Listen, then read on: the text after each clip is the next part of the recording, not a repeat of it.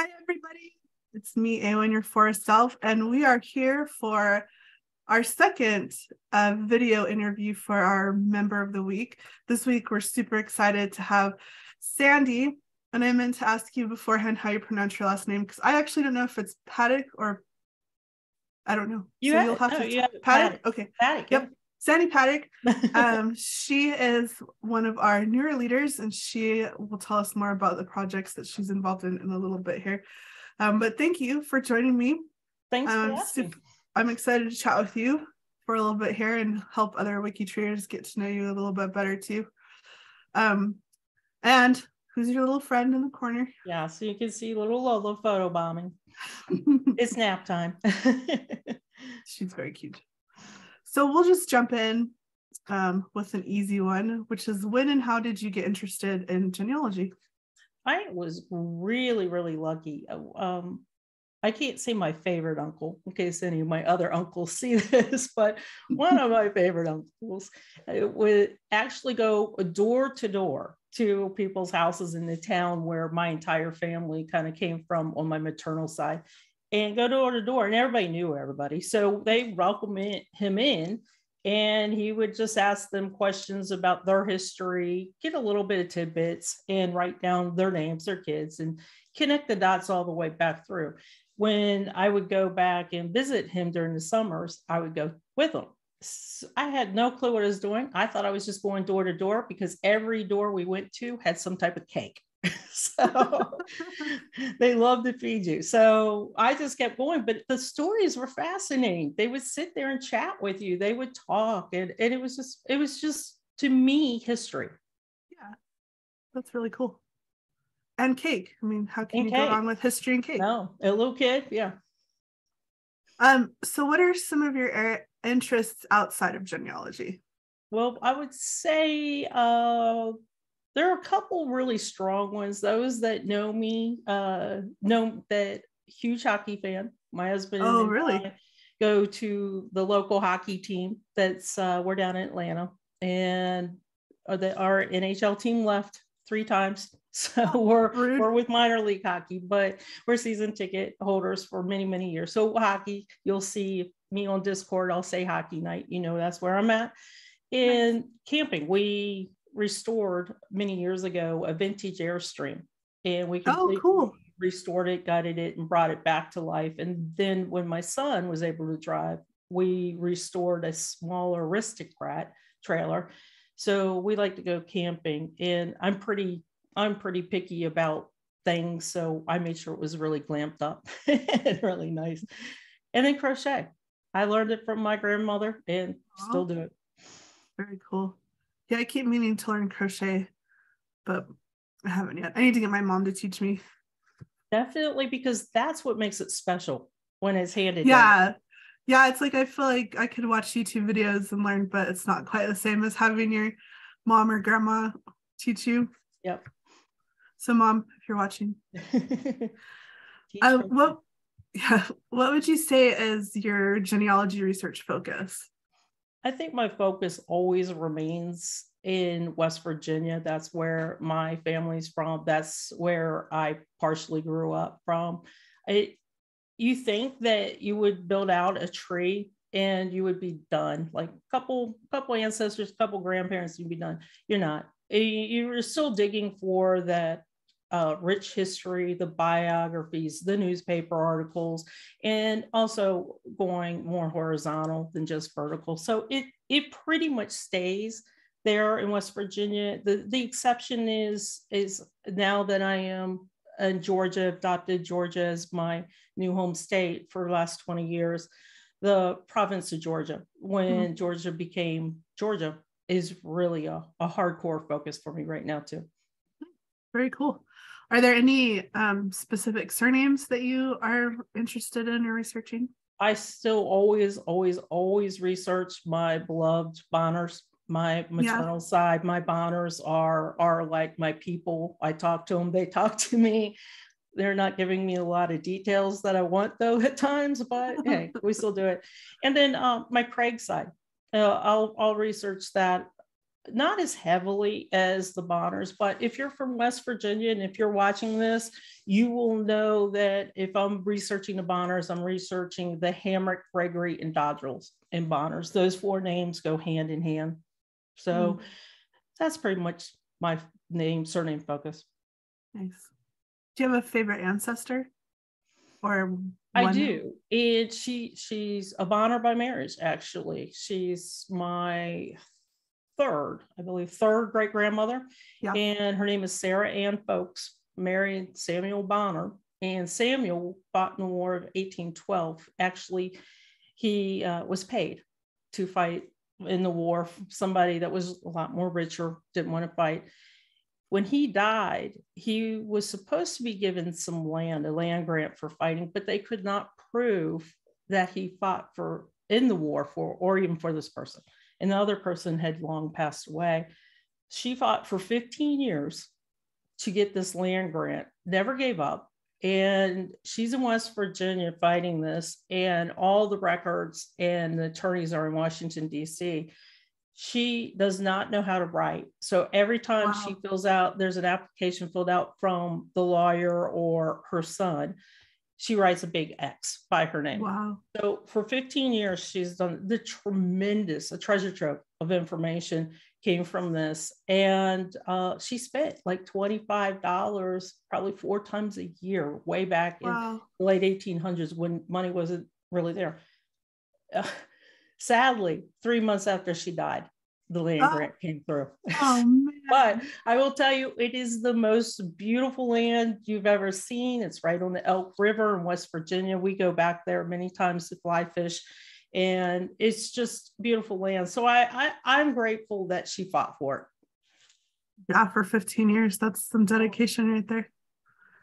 So you guys, you guys, the land is still in your family, and you can still go and we we do and we don't. Is it was sold off so many times in patches and patches. So the land that the family owns is it's more my uncle my two uncles own is a very small area mm-hmm. but uh, the cemetery the bonner cemetery is still there and we own that land. Oh that's really cool. That's nice. Um how about a favorite genealogical discovery oh, that one's tough. Uh, oh, that one's, uh, I would say probably finding a uncle, my maternal side, my uh, mother's father, my grand, my maternal grandfather was unknown, and my grandmother took that information to her grave. Yeah. And we we knew that he had remarried, but we didn't know anything really about where or who and out of the blue a couple years ago because I had put information about this gentleman and a lot of detail in WikiTree. His daughter was trying for Father's Day to do the same thing, try and find out information about this father oh, wow. that he never knew because the father died, I think, when he was about six months old. Oh. So he's like, hey, sends me a message to WikiTree, hey, who are you? And why do you know my dad? And I'm like, I think you're my uncle.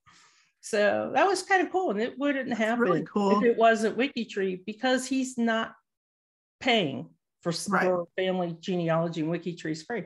Yeah, that's that is super cool. No. I love those kind of stories. Um, so how long have you been on WikiTree? This is interesting. I've been on since about March 2016. So yeah. about seven years. And this is really cool. I love this. I, I just discovered this this week. Mags is the one that was my greeter. Oh, how and fun. I just greeted Mags in the Appalachia Project this week. Oh, so I feel circle. like the turnabout. So I love that. That's really cool. Yeah, she's awesome. Um, so how did you find WikiTree? What brought you what brought you to the site? Do you remember? I do. It I mine might be unique or it might not be unique. I have uh, as a, pro, a, professional genealogist, and I had clients that would do the DNA test through a different uh, online program, but they didn't want to pay the the fees to continue being a member. They just wanted to find out the DNA. So as I'm managing their DNA, at the time I was like, I have to find a way where I can easily recreate this tree so they can always see it for free. And I didn't want to build out my own personal web page to have all these family trees for all the clients I ever have. Just did a, a web search and found WikiTree extremely quick. And the very first client I had, I remember I just started building out the tree. I didn't build my own tree out, I built their tree out first.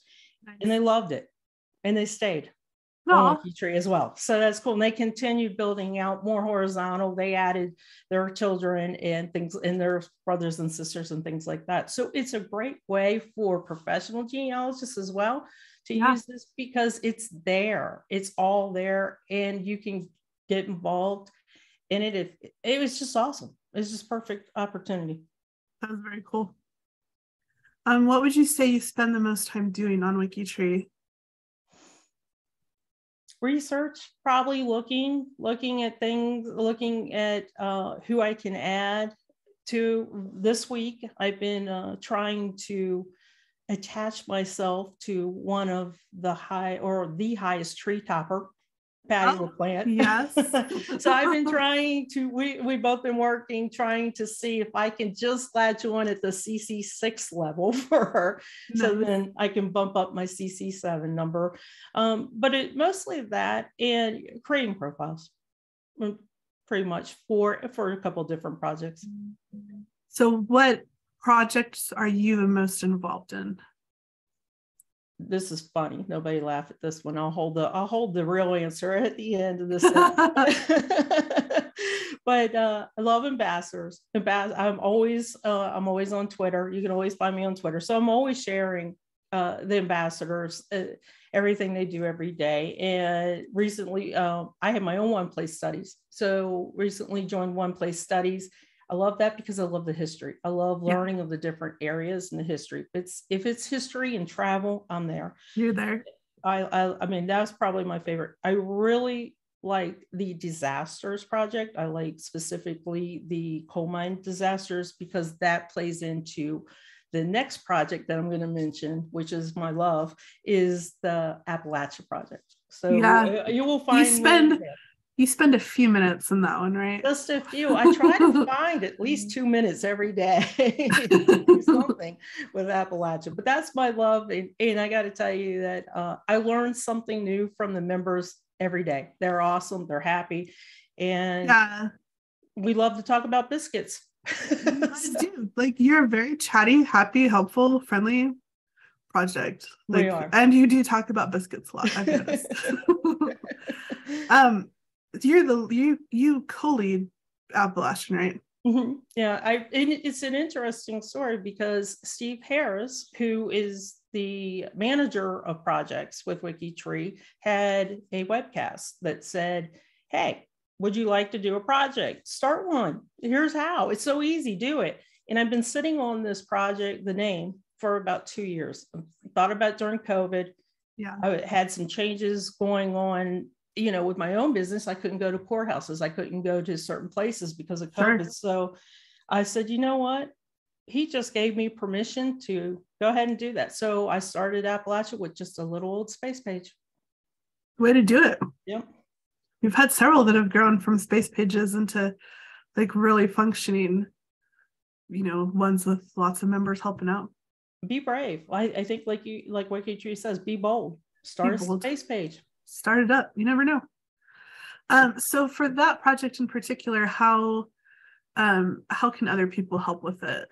Where where do you need volunteers for it? I think what we really need is we need volunteers that are in different areas of Appalachia. A lot of people think only West Virginia is Appalachia. Some people might think Tennessee and some Kentucky, but it actually goes all the way up into uh, New York. So most Pennsylvania, New York, and it goes all the way down into Georgia, where I, I'm actually in North Georgia, where Appalachia ends. I'm the southern county in Appalachia for Georgia, but it goes into Alabama, Mississippi. So we really would like to see people join that have that southern or that very northern New York or Ohio or Pennsylvania and add their ancestors and add their profiles. Very cool. Um, so what inspires you to contribute so much of yourself to WikiTree's mission? I would say truly, I want my own people to have a place eh, where everybody can see them. I, it, it's really, really important to me that some of my ancestors are known and and seen as well. Yeah. And I think that almost every project or every person that digs into their family tree, you just have this this feeling in your heart and your gut that these are your people and yeah. you're proud of them and, and some you're not proud of and you want you want to explain why you're not proud of what they did. Everybody has a story and I, I just felt like in other places sometimes the the names were getting wrong the parents were wrong or the children were wrong. You know people get real crazy about pictures things like that and i just found that wikitree was just a safe haven for my ancestors to be seen. I love that. Um, so what's your favorite feature or function on wikitree and why? I've got a few. You know i really really love where you bring up a profile and it shows you the degrees and how mm-hmm. close you are and you bring up a profile and it will show you oh this is your second cousin two times removed and it'll tell you where and how yeah but the one that i really use the most is if you go to most of the category i think all category pages maybe i'm not sure at the top right is a big green button that says my connections and I will find random categories and click that button to see who I'm closest to in a page. We use it in Appalachia so we can all see who we're closest to. Yeah. But um, I will do it in cemetery categories because I want to know who I'm closest to because that's also going to help my CC7. For sure. Yeah, it's a great way to find connections. I love that too. I, and I do, yeah, I like to go to just totally random categories yeah just to see like who's who am i closest to here um what what feature do you think we'd like to see added or improved oh i've got a really easy one it's yeah. been asked a couple times i think i don't know what how you would call this feature so i'll explain it, it and you tell me what it's called if you go into a profile and you hit the edit and then you scroll down to the bottom, and on the right, it has the parents listed with the WikiTree link already there. If we could just put the word and in between the mom and the dad, I would love it.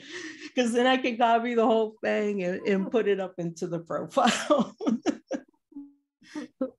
it sounds silly, but I'm telling you, it would be fabulous if we had that. I have seen that mentioned before.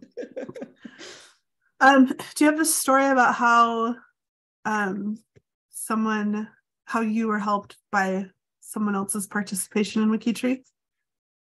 I, I do, but I want to share with you my, my husband. I convinced him to do WikiTree. And yeah. he will occasionally do thons. If he wants to see me that weekend, he will do the thon. but, um, really, the coolest one is his and Secret Santa that just ended a couple months ago he was stuck at his great grandmother, who we couldn't determine if it was she's from Austria or Hungary because of the time frame, and an elf picked up his secret Santa wish and expanded out his tree by four generations, which is cool, Whoa. which is very, very cool and, and amazing because we never thought we would get there. But she also found a picture of the house where his great grandmother was born and lived. Wow. And that just, I mean, I I have not met met her. She by the time I met my husband, she'd already passed, but he has very fond memories of her. Oh, and wow. um, it just to see a big big guy, he's a big marine. To see a big guy just kind of look and, and get the feels over that was awesome. That is awesome. The Secret Santa was great. Way to go, Elf. Yeah. Um, do you have any tips for someone who wants to get more involved in the WikiTree community? I think I used to say join a project. And I, and I still think joining a project and, and try joining them slowly. Don't don't pick up 10 at a time. Try joining right. Slowly. I think that is is still a good thing to do, but I like something a little bit better. Watch the live cast. You'll see who who who the people you're going to ask questions and need help from, you'll see them and they give help. We have such great uh, uh, live casts every month. Les does his technical one. We have every Saturday, the Saturday roundup, where we talk about things that are going on, what's going to be coming up next, the question of the week, where people share. And you get to know these people, you get to know these names, and they become familiar with you. So I really think watch these live casts, play bingo. I forgot that one. Play bingo, Friday night, date night. They alternate each other because you get to know the people that are WikiTreers and I think that'll make you feel a little bit more comfortable jumping in. Yeah. It's nice to be able to see people's faces for one. It is. And then you can learn it's it's they're kind of like easy ways to learn. It's not intensive, it's not, you know, super structured. It's you learn just by being present. And I think you cool. you start to think of of them as friends. And you come yeah. to look forward to for example the saturday roundup you come to look forward to it. And mm-hmm. and you wonder what's going to happen this week? What am i going to learn this week? What are they going to tell me? And it's just comfortable it's casual it's it's like sitting over your morning coffee. So i think that's an easy way to ease in to it yeah. that's good i like that. Um, and what do you think we could do to inspire more people to participate in our mission you know, I don't think that WikiTree is ever going to have the Super Bowl commercials.